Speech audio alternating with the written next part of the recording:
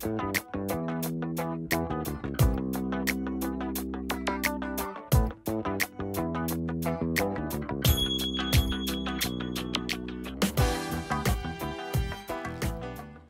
muchísimas gracias por estar de nuevo con nosotros. Como les dijimos en la semana pasada, Lisbeth está de viaje, está en Barinas, está en un foro en Barinas, y entonces este, tenemos a nuestra colega y muy amiga Eva Gutiérrez. Ay, muchas gracias Silvia. Y saludos a Lisbeth y toda la suerte del mundo en el foro en Barinas. Bueno, Por cierto, yo voy la semana que viene a Barquisimeto a un foro en el marco del, del- del Día del Periodista, que es el sábado 27 de junio. Vas ahí muy bien acompañada, según me enteré. Bueno, sí, ya me avisaron. Iba a ir Roland Carreño, pero está de viaje, está regresando el día siguiente. Ese mismo día no va a poder estar, pero va Kiko, Kiko Bautista, bueno, por supuesto, nuestro jefe aquí en el canal. Ujú. Bueno, entonces vamos a comenzar rapidito a comentarles algunas cosas, como siempre, muy malas para la libertad de expresión. Lo primero es nuestros amigos de Conatel, que la tienen agarrada con los medios de comunicación privados y permanentemente están amenazando. La última amenaza la hizo a- a- ayer, creo que fue, sí, fue ayer, eh, donde amenazó a los medios diciendo otra vez que son los que están permanentemente creando un ambiente de que hay escasez cuando eso es mentira.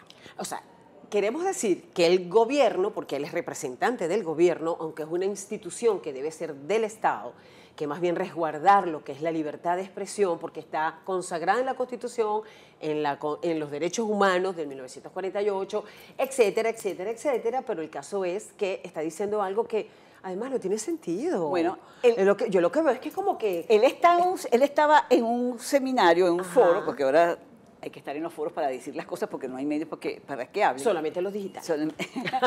Bueno, y entonces él dijo que Conatel estaba haciendo una, una investigación sobre la publicidad de algunas empresas que eh, hacen productos, porque está pasando, según él, que una empresa que produce, por ejemplo, unos 50 productos, en verdad está produciendo 10, pero está haciendo publicidad por los 50. Entonces, claro, la gente va a buscar los 50 productos y solamente consigue 10. Entonces, es decir, que eso da la idea La de que hay escapa. La imagen de que hay que hacer. Ok, o sea, dime tú. Por favor. Dime tú. Además, que salió una lista, incluso de la misma empresa, Procter Gamble, podemos decirlo, supuestamente es oficial, donde un shampoo va a costar casi mil bolívares. Estamos hablando de un millón de bolívares de los viejos. O sea, yo no Por quiero- lavarte el pelo. Bueno, imagínate tú. Bueno, eh, además, cuatro mechas, pues son cuatro mechas. Pero lo que yo digo es, o sea, si nosotros no estamos engañados, porque siguen siendo un millón de bolívares. O sea, ¿cómo hace la gente? ¿Cómo podemos hacer nosotros, que todos somos ciudadanos de a pie hoy en día, todos somos igualitos, para decir eso? Y además, que es mentira. Pues que Porque- además, además, ¿será que ponen el dedo así y, no, y tapan el sol con el dedo? O sea, o sea, no entiendo, porque todos hacemos cola, todos estamos buscando medicinas y no conseguimos, todos estamos buscando papel toalla y no conseguimos. O sea, es una vivencia diaria. Claro. Entonces, además, una empresa va a gastar millones de millones de bolívares en una publicidad de un producto que no está produciendo. Es más, yo les voy a hacer una cosa, les acarrea pérdidas, porque el que conoce de publicidad compra los espacios el año anterior a tarifa del año anterior y los consume el año siguiente. Si no los consume, ese espacio va a costar el triple el año, al año siguiente y tiene que pagar una mm, parte extra, un sobreavalúo, por decirlo así, de lo que es el espacio publicitario en los medios de Bueno, pero en comunicación. todo caso- Entonces, para no perderlos, tiene que poner por lo menos la publicidad de los pocos productos que tiene. Pero no va a poner productos que no tiene. Porque No va a poner productos que no tiene, que pues, a fuera, perder ¿no? el tiempo. Bueno, pero en todo caso, lo que queríamos aquí destacar con Conatel, que también eh, hace cuestión de unas, de unas semanas, en abril, perdón, en abril también acusó a los medios de que también eran, este, estaban diciendo eh, que los iban a acusar por si acaso, si decían algo con respecto a la campaña que hubo de unos niñitos que habían robado, que supuestamente habían robado. Exacto. Entonces amenazaron a los medios que si decían, decían algo, los iban a poner a cerrar, qué sé yo. Después también dijeron que los medios eran agresores contra eh, los, los beneficios que está dando el gobierno al pueblo, porque siempre están engañando. O sea, permanentemente amenaza a los medios de comunicación. Conatel, que supuestamente es un órgano que debería ser equilibrado, que debería ordenar, coordinar, todo lo que tú quieras, pero sin amenazas y además llegando a acuerdos y no amenazando. Bueno, lo que pasa con ese tema, Silvia, discúlpame, es que en el Plan de la Patria, lo cual no todo el mundo se lo ha leído, hay un artículo, no recuerdo el número en este momento, que habla de la hegemonía comunicacional, que significa que la mayor parte de los medios, como están en manos del gobierno, no del Estado, sino de los que manejan el Estado, que son, el gobierno, que es el PSV básicamente, entonces tienen que meter por allí, por esos medios, todo lo que es la ideología del socialismo del siglo XXI, que tú lo entiendes, porque todavía hoy Nadie por hoy, sabe. si resucitara Marx, tampoco lo entendería. Tal cual. Bueno, eh, seguimos con las noticias malas. Este, el gobernador de Vargas este, pidió la cabeza de una periodista. A la y periodista del la director votaron. de la verdad. Y lo votaron, votaron al director, no, a la, a la periodista. Votaron al periodista. Eh, Génesis Arevalo, eh, ella es una periodista, le dieron una pauta, ella fue a, a buscar la información a la construcción de un polideportivo, de un, un estadio de béisbol que están haciendo, que supuestamente va a ser el estadio de los tiburones de la Guaira. Supuestamente. Bueno, sí, es una construcción que tiene por lo menos tres años. Bueno, que entonces- va a ser precioso y va a estar a la orilla de la playa. Bueno, estar muy bonito. entonces- las cosas como son. Parece ser que ha habido muchos rumores de corrupción, de que se ha retrasado demasiado la obra, no sé qué. Y esta periodista buscó, indagó. La primera vez no la atendieron, la segunda vez una persona que actuó como ingeniero le dio toda la información y, entre otras cosas, ella saca como conclusión de que han- están pasando cosas en la obra y ella lo denuncia en su escrito. Bueno, el gobernador ha ido al medio, ¿qué, te- qué- qué crees tú? El gobernador ha ido al medio a buscar a la periodista. A buscar a la periodista y además cerró. Pero no, pero entonces. La verdad, lo cerró no, después. no, pero... no- no la consiguió y entonces eso fue el 11. Eh, y, y Mira, entonces. mira cómo lo pusieron, ¿verdad? ¿Qué es esto? La verdad, sobre, bueno, qué bueno que eso lo puso la misma gente del diario, pero cerrado el diario, la verdad. se- lo cerraron el día 13, Ajá. el día 12, perdón. Y el 13 lo volvieron a abrir porque la gente salió a la calle, los trabajadores salieron a la calle, los vecinos salieron a la calle, porque además creo que es el único periódico que hay en, la, en Vargas. Entonces, Pero yo te voy a decir una cosa. Se supone que este programa es derecho a réplica. ¿Eso significa que yo tengo que estar de acuerdo con lo que hace el gobierno? No se sabe, ¿verdad? Yo sí estoy de acuerdo en que hagan ese estadio. Porque la gente, Claro. yo que tuve casa en La Guaira, gracias a Dios, ya no la tengo. Este, la verdad es que los muchachitos jugaban en la calle, en la esquina, en el barrial, aquello contaminado, una cosa espantosa, y hacía falta este estadio. Pero ¿cuánto tiempo tienen haciéndolo? No y a lo mejor eso. lo que descubrió esta periodista es verdad, hay corrupción. Ay, como en la mayoría de las construcciones en este país. bueno, en todo caso, el cuento es que la votan a ella, cierran el medio y después abren el medio. Al día siguiente abren el medio otra vez. ¿Quién entiende eso? Nadie entendió nada. Y en todo caso, lo que no puede ser es que si no te gusta una, una información, vayas contra la periodista y además cierres el medio. O sea, hay derecho a réplica, hay una ley, hay una constitución. Claro, claro. Ahora, ella, ¿por qué entonces no? ya lo denunció en todos lados. Claro, lo denunció, pero porque a ella no la reenganchan, porque se quedó sin trabajo por denunciar la verdad. Por denunciar un la verdad. trabajo de investigación. Bueno. ¿Qué pasa con los periodistas que investigamos entonces y que descubrimos cosas? No, Tenemos que no hacerlo puede- desde afuera. No puede, no puede, no puede. Eso se llama hegemonía comunicacional por parte del gobierno. Eh, o sea, no, quiere, hay libertad no de quiere, no quiere, expresión. no quiere, no quiere, no quiere. No quieren que la gente se entere de lo que está pasando en el país. De los desastres. Pero de todos modos, vamos a hablar ahora más tardecito de una cosa que nos está permitiendo hablar. Amén, gracias. Por lo menos este canal. Por lo menos este y varios como este. Y varios como este. Eh, y la otra denuncia que tenemos, que, bueno, esto sí llegó al colmo de los colmos, lo de Sucre, lo de la sede de- del CNP en Sucre. Pero eso tiene más de 10 Colegio años. No, no, eso. Vamos a contar la historia primero para que la gente sepa qué Ajá. pasa con el Colegio Nacional de Periodistas en Sucre. Yo más o menos la sé porque Dale, estaba vinculada dale. al tema, pero tú lo sabes más porque estás más cercana a todo. El caso es que la sede de Sucre, del, que es propiedad del Colegio Nacional de Periodistas, la sede de la seccional Sucre, tiene, tenía un espacio, mm, digamos, desocupado ah, este, y la orquesta o el sistema de orquestas comenzó a trabajar allí con un permiso, una especie de Un comodato. co- como un com- un Fue un comodato, un convenio. Pero no pagaban nada. Pero no pagaban Ni nada, ni agua, ni nada. la sede ni agua ni nada y creo que como no pagaban, creo que ni hasta mantenimiento. Sin embargo, empezaron a hacer unas remodelaciones en esa sede. Sin el permiso del Colegio Nacional de Y Periodistas. lo hizo el alcalde, Y el fue- alcalde del municipio Sucre de ahí de Cumaná. Exactamente. Y entonces, el dueño del edificio, que es el CNP eh, Sucre, se encuentra un día que va para la sede, claro que sabía y estaban en las discusiones y en las negociaciones para que ese proyecto no se diera. Entonces resulta que llega un día al CNP, el viernes pasado llegaron y se encontraron con maquinaria tumbando espacios del, del colegio sin autorización.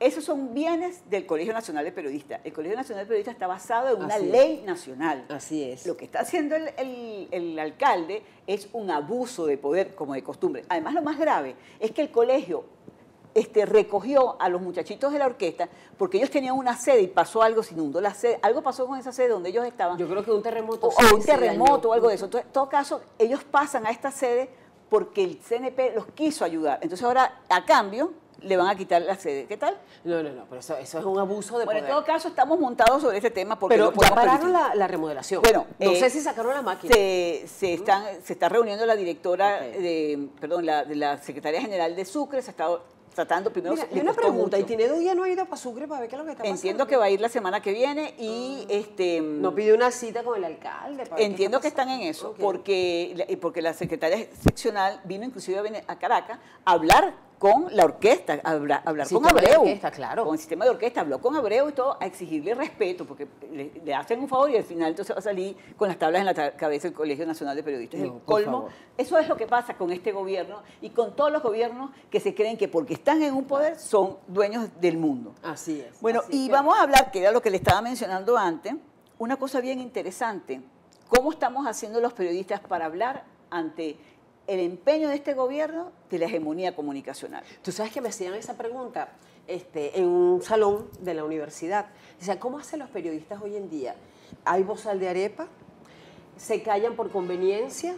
¿Hay que ser más creativo y darle la vuelta? Que de alguna manera creo que es lo que está haciendo el Universal, poniendo las noticias positivas. Pero eso no son noticias, eso es información.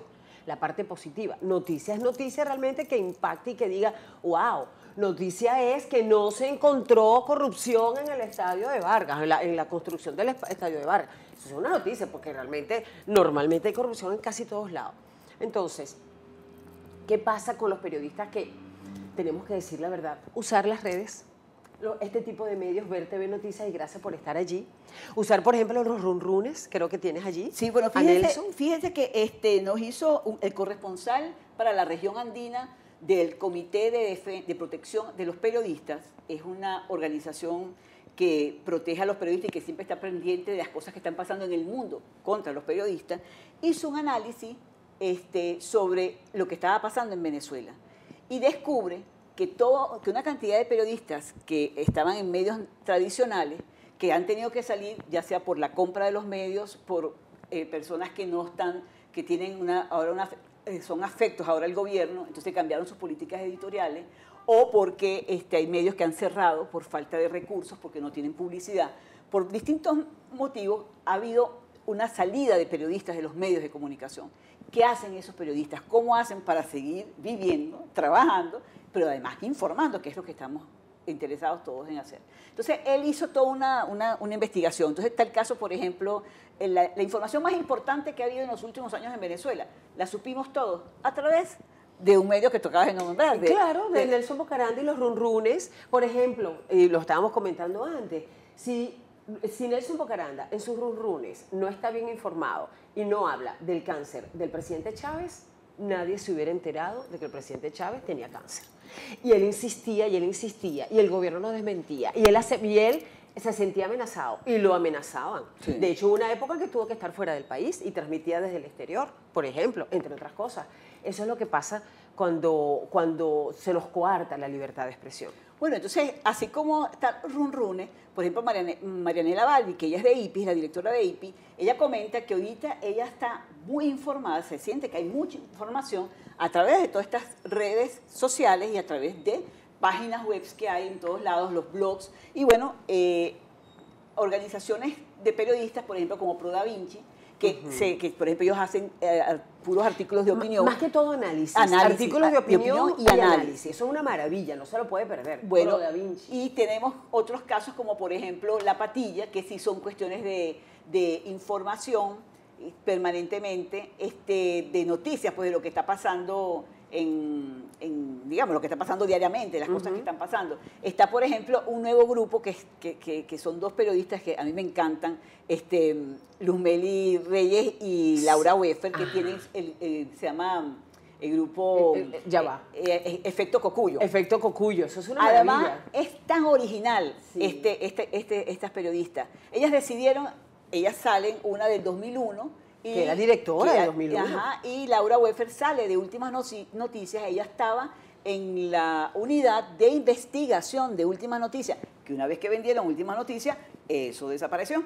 Entonces no hay unidad de investigación. Por supuesto, no, se van a investigar ellos mismos. Absoluto. Entonces no... no Ellos hay- mismos no se pueden cerrar. no, entonces no hay investigación. Entonces sale Laura Weffer también de Últimas Noticias y entonces se deciden ellas a hacer efecto cocuyo. Y entonces efecto cocuyo, eh, ¿qué está haciendo efecto cocuyo? Para poder sobrevivir. Han hecho un potazo. Hicieron un Así arrancaron. Por lo menos así arrancaron, porque la verdad es que montar una página web para el servidor, eso, tiene, eso merece No, y mucho todo, dinero. y todo el trabajo y Requiere. mantenerlo y no sé qué. Y además ellas hacen noticias, ellas son noticias diarias, ellas van Sí. y van, como decimos nosotros, pateando calle buscando información. Entonces, claro, tienen que contratar periodistas, tienen que contratar los editores.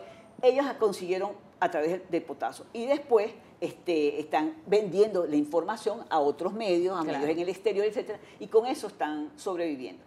Todo esto está eh, significando que estamos consiguiendo, todos los venezolanos estamos pudi- pudiendo tener información gracias a los periodistas que están haciendo periodismo, periodismo del bueno, a través de las redes sociales, a través de los medios digitales, porque es la única manera que, nos- que- que podemos. Pero con mucho, con mucho cuidado, porque tampoco Internet escapa del- de la amenaza del gobierno. De hecho, el año pasado sufri- sufrimos que eh, ya NTN24 no está en, los, en las cableras, por ejemplo. Entonces estamos desinformados, tenemos que ir a la página web. Y como ellos mismos lo dicen, le han tumbado la página por lo menos cuatro o cinco veces. Ellos buscan servidores en otras partes del mundo y allí está NTN24, lo cual felicitamos y que queremos seguir contando con ellos. No, y además, si, si nos va a pasar este, eso de que eh, va, va a venir leyes, de hecho hay, la ley resorte hubo una, una transformación en la ley En el resorte. año 2000. En el año 2000, por, por eso, porque eh, ven- veían venir la, las- no, la, la última, del 2010, hubo una reforma de la, de la, de la ley resorte. ¿Qué dije para yo? meter- 2010, ¿no? 2000, no, yo te entendí. 2000 no, 2010, tienes razón. Ajá, entonces ahí metieron la parte digital, la parte de, de- de redes, internet, etcétera, ¿no? Pero en todo caso, hay que mantener, como periodistas, mantener el, la fortaleza en seguir dando información a ustedes que son los ciudadanos que están permanentemente necesitando saber qué es lo que está pasando en el país. Hay una campaña bien interesante. Sí, pero antes de la campaña yo quiero también recomendar a todos aquellos periodistas que nos, y a todas aquellas personas que se basan en las redes y que están todo el día chateando y buscando en Twitter qué está pasando, verificar las informaciones antes de retuitear, porque se especula mucho. Incluso hay salas situacionales del gobierno que ellos se encargan también de enviar cierta información para distraernos de la realidad que estamos viviendo los venezolanos. Que de paso, con el palo de agua de hoy, yo no sé cómo hace la gente con las colas, de verdad, porque hay que hacer cola. Igualito seguimos haciendo cola, aunque haya escasez, según el presidente Conatel. Miren, eh, sí, eh, supuestamente no hay, no hay escasez, ¿verdad? No, William no Castillo. A mí me parece tan raro que un periodista sea capaz de hacer lo que está haciendo William Castillo. Tú sabes que eh, en- dentro de la ética, en el periodismo, mira, la ética tiene tantas cosas importantes y bellas. La ética es, o sea, lo único que uno se lleva a la tumba es la dignidad, que va pegadita, casadita con la ética. O sea, la ética es lo más importante, conservar esa ética como periodista diciendo la verdad y sustentado con hechos. Toma tu papel. Mira, aquí está mi papelito. Ah, pues, esta es una manera que IPI está celebrando el Día del Periodista. IPI es eh, Instituto de Prensa y Sociedad. Es una organización que estudia mucho la situación de Venezuela, la libertad de expresión y las cosas que están pasando. Entonces, IPI lanzó esta campaña. Soy periodista, soy impertinente. Porque el periodismo es impertinencia, el per- el periodismo es contraloría social. Ellos están en este momento haciendo esta campaña, aquí está el mío, Sí. soy periodista y soy impertinente, porque nuestra función como periodista es esa, ir al meollo de, la- de la- de lo que está pasando. Yo me declaro impertinente también, como el IPIS, Instituto Prensa y Sociedad. Somos periodistas, somos periodistas y somos imper- impertinentes. impertinentes. Muchísimas gracias por estar con nosotros de nuevo. Tu Twitter. Mi Twitter es arroba Eva pegadito hasta la E. Ahí estoy a la hora. Y el mío es Silvia Alegre, arroba Silvia Alegre. Muchísimas gracias y nos vemos la semana que viene. Vamos a ver si está Lisbeth la semana que viene. Gracias por, la- por la No, invitación. No, gracias a ti por y acompañarnos. la semana que viene estaré en Barquisimeto, no se lo pierdan.